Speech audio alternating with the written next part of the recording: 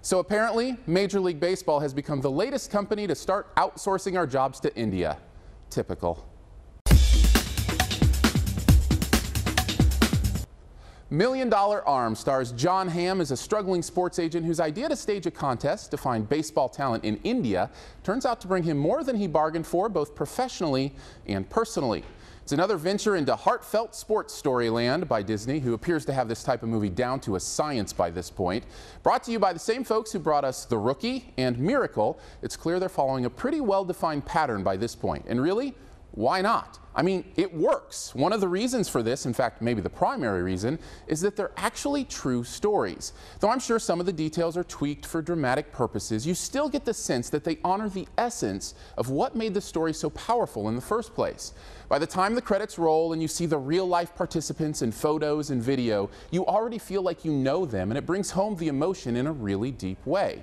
Of course, that emotion would be pointless if you didn't connect with these stories, and that's the other part Disney just keeps getting right, the human aspect. Though on the surface these movies are about interesting sports stories, at their core they're really about the way we treat each other as human beings. As our lead character comes to grips with the way he treats people, we come to understand something really valuable about ourselves as well. And if all that sounds a little too schmaltzy for you, well, maybe it is. But there still might be enough humor to draw you in anyway. Not to mention the actual ins and outs of this story are pretty compelling themselves. Of course, it's hard to go wrong when you have Alan Arkin and Bill Paxton giving such great supporting performances. And their contributions are certainly a large role in the reason this movie works. But my favorite thing about the movie, I actually would say it's the music.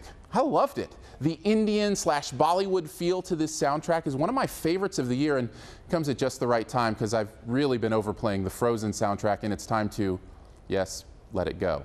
So this will give me something else to play anyway. So what doesn't work about Million Dollar Arm? Well, I already mentioned that this formulaic approach might feel tired or syrupy to, to many people, but even more than that, it gives the whole endeavor a TV movie feel as opposed to the big screen. There's just a limited nature to the scope of a movie like this that makes this an easy one to miss in theaters and maybe instead pick it up when it finally hits Redbox here in a couple months. Honestly, maybe some of that is Jon Hamm, who though not awful by any stretch, gives a very basic performance performance that would feel right at home on the small screen. Another thing that drags it down a bit, and let's tag it as the worst thing, is that the cookie cutter nature of the formula makes for an experience with very few surprises. We know exactly where the plot is going, and we're never shocked to see it get there. Overall, Million Dollar Arm is a predictable and formulaic movie from Disney. But at the end of the day, just because you know what pitch is coming, doesn't mean it doesn't get the job done some fun performances, and a real insight into our shared humanity, along with a genuinely interesting true story, zoom this one right over the center of the plate for a B B+.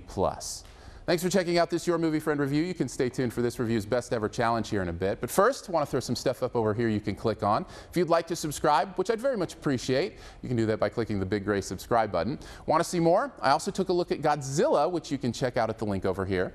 You can also click the logo right up here to go to the all new YourMovieFriend.com where you can search by title for reviews. And finally, this review's best ever challenge. This is where you name the best movie ever in a particular category and also try to identify what my choice is. What is the best fish out of water movie ever? My choice fits the theme both figuratively and literally. Drop your own answer and a guess at mine in the comments, and the first person to guess mine does get a point. Thanks, and please subscribe.